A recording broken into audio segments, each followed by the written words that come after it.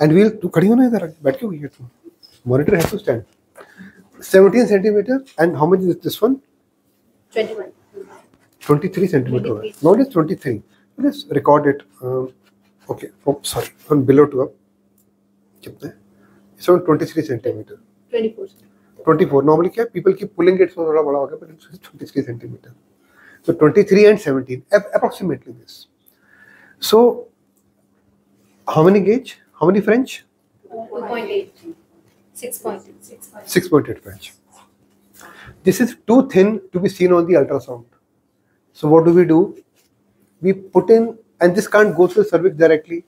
So we use the outer sheath to go through the external os, internal os, and then on the tip, what do we have here? Bulb. Bulbous tip. So as it goes in the internal os, it'll snap. And then even if you leave it, it won't come out.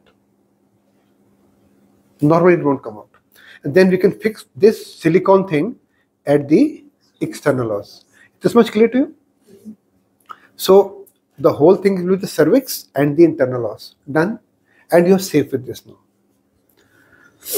Now this is seen. This is seen. But this is never seen. It is too thin you can only see it when you are looking at it in a very focused way. So what do we do? She has put it inside the uterus and this is the internal os. Hypothetical situation. I've loaded my embryos into this. And I bring this catheter towards the outer sheath. And I and I enter this. Not difficult. Now this whole thing is made of a metal here. So it will go very easily and then this is at the internal os. Unfortunately, in case I cross it, this won't be seen only. But I have to tell the people to keep it, but we have to see it. And we have filled it with some media columns and one column with the embryo. But this is not seen. It's not seen actually. Then what do we do? We fill it with air. And why do we fill it with air? Air is क्या? Scale. Scale. Scale. So I think probe for you. Air is hyperechoic.